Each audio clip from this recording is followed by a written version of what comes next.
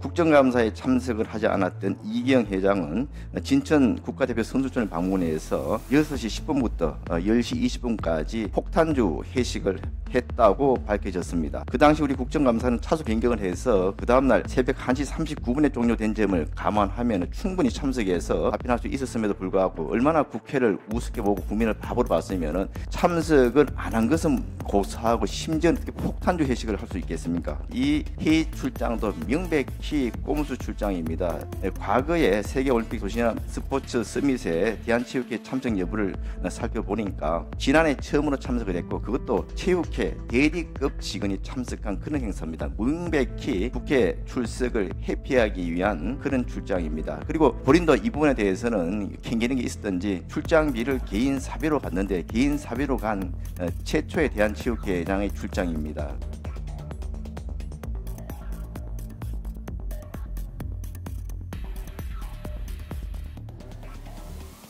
지금 아마 이 국정감사팀 조사한 결과하고 우리 저희 윤리센터에서 조사 저희들한테 지금 공식적으로 어 제가 아직 못 받아봐서요. 그거 보고 지금 말씀처럼 아마 징계 요구를 저희한테 할 것 같은데 대한체육회장은 저희들이 업무 정지는 시킬 수 있습니다. 직무 정지 시킬 수 있고요. 그렇게 해서 어 그게 확인이 되면 직무 정지를 할 거고요.